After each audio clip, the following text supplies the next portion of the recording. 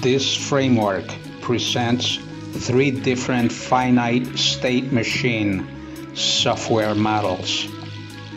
The first segment of this video illustrates the FSM, that is the finite state machine, which is written in Verilog VHDL with four different states that is state A, B, C, and D.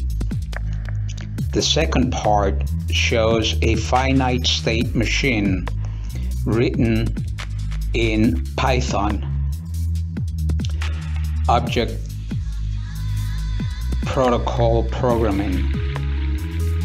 And finally, the third segment of this presentation implements the finite state machine, the FSM, software model written in C language.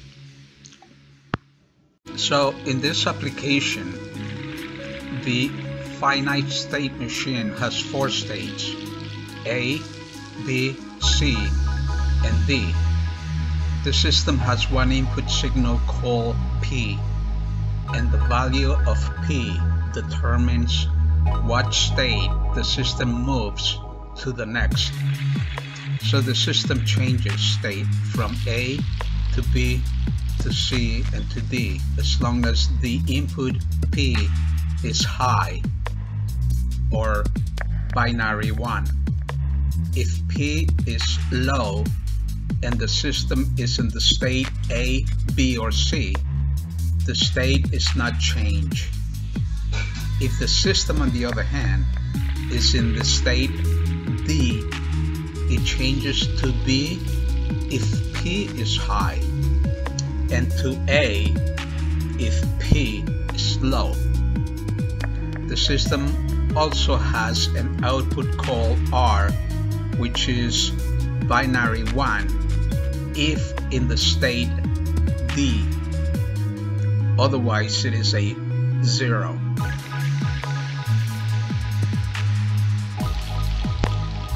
Therefore, in these block diagrams, the circles represent states, the arrows represent the circles, the rules for changing from one state to another state. For example, the system state machine moves from A to state B if the input P is equal to 1. Otherwise, it remains in the state A. The information below the line in the circle represents the output value when in each state. And the arrow coming from nowhere in the A indicates that A is the initial state. So here I show the representation of the VHDL model for the finite state machine, the FSM. The VHDL entity describes the external interface of the system, which includes the inputs, the outputs, and the name of the entity. The name of the entity is the simple FSM finite state machine and the inputs are a clock signal also the reset signal and also the P signal and the output is the R signal. As I have illustrated in the code of the FSM. The clock system in this implementation is the periodic high-low signal that controls timing to the synchronous system.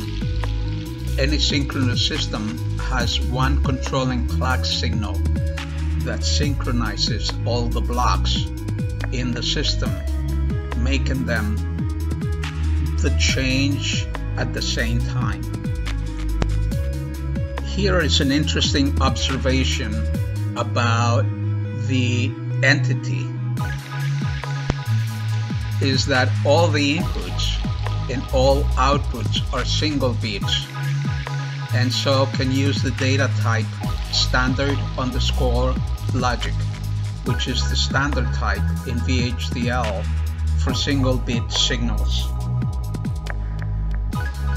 Looking at the code, the next step is to define the functionality of the entity.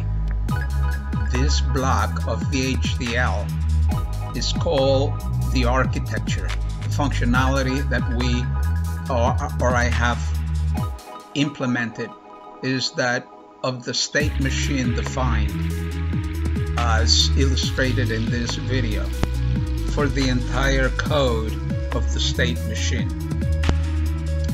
Okay, now let's analyze the details of the architecture code uh, presented in this project. So the architecture definition states that is the architecture RTL of the FSM finite state machine.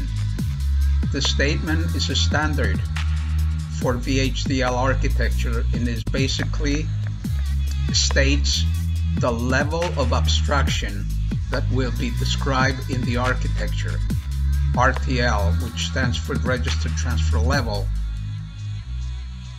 So the behavioral is the highest level of abstraction and when writing behavioral code you simply need to define the relationship between inputs and outputs.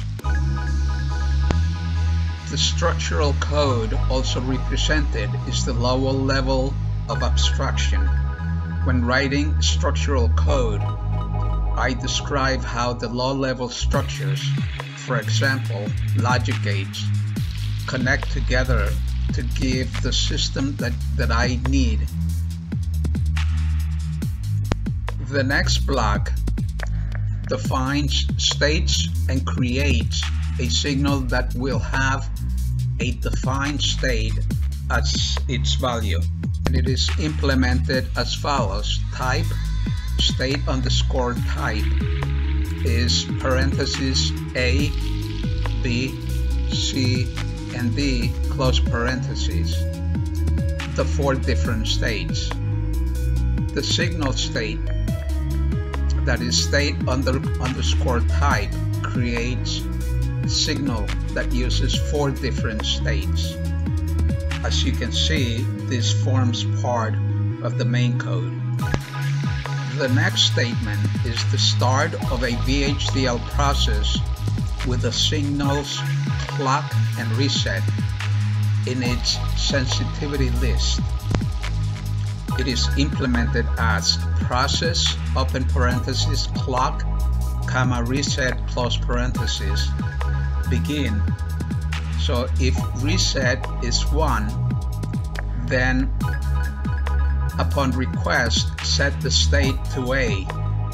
So A is placed in the state else if rising underscore edge clock then so there are many details about the process declarations. In this code, only the state signal has an assignment. So register made up of enough flip-flops to represent the value of state will be created. The register will be synchronized to the rising edge of the clock and will be asynchronously resettable by the reset signal. The body of the code following the rising underscore edge clock statement is a VHDL case statement that will be synchronized into the logic for controlling what value state changes to one to on each rising edge of the clock. As an example, when A is equal or greater than, if P is equal to 1, then state is less than equal B. And if this is a statement within the code. This equates that in that if state has the value of A, then if the signal P is 1, change state to B on the rising clock edge. Therefore, the last statement in the case is when others is equal greater than state less than equal A. This statement is a catch-all statement to make sure that if state somehow had a value not equal to A, B, C, or D, then it will reset to a value of A. The final section of the code is done outside of the process and creates a block of combinational logic,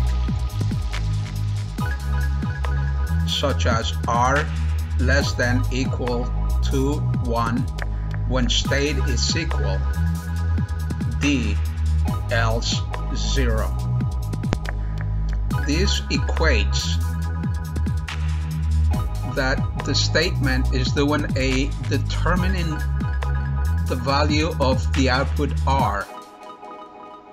R will be a 1 if the state is D and it will be a 0 in all other states.